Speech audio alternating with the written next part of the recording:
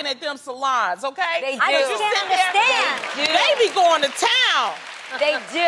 I just can't I mean, and I and I get offended because okay, just play with me. I'm getting my feet done, right? Yes. And they start talking to each other, Go, and they go, they just go, right? will They go. just, what do they say? They'll say, cái bà này nó vô đây, trời ơi, cái chân nó kìa, thấy ghê? Ghê mày, nó, nhìn nó.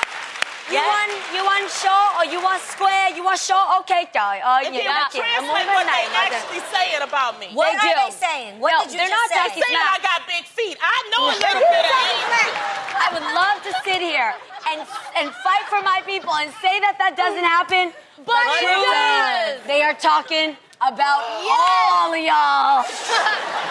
Next time I go to the nail salon, I'm gonna go with you so you can translate. All right, that's all right,